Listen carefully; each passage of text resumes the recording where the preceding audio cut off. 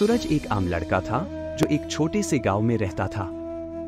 उसका सपना था कि वह एक दिन बड़ा आदमी बनेगा और अपने परिवार का नाम रोशन करेगा। लेकिन उसे पता था कि सपने हकीकत में बदलने के लिए मेहनत करनी होगी। सूरज का पहला कदम शिक्षा की ओर बढ़ने का था। उसने समझदारी से अपनी पढ़ाई पूरी की और एक अच्छे कॉलेज में प्रवेश पाया। वहाँ उसने नए दोस्त बनाए और अपने लक्ष्यों की ओर बढ़ते हुए मेहनत करना शुरू किया। लेकिन कहते हैं, जीवन का सफ़र कभी भी सीधा नहीं होता। सूरज को भी अपने मेहनती पथ में कई चुनौतियों का सामना करना पड़ा। लोग उसे नकारात्मकता दिखा रहे थे। कुछ दोस्त उसके सपनों को मायूस करने की कोशिश कर रहे थे।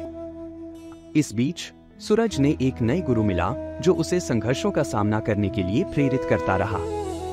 उसने सूरज को यह सिखाया कि जीवन में चुनौतियाँ आती रहती हैं लेकिन वे आपको मज़बूत बनाने का एक अवसर होती है।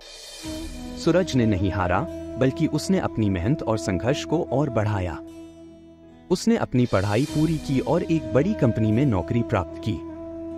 वहाँ भी उसने कई मुश्किलों का सामना किया, लेकिन उसने कभी अपने लक्ष्यों से हाथ मिलाया नहीं। समय के साथ सूरज की मेहनत और संघर्षों ने उसे कंपनी में एक महत्वपूर्ण स्थान दिलाया। उसने अपने सपनों को पूरा करने में सफलता प्राप्त की और अपने परिवार का नाम रोशन किया।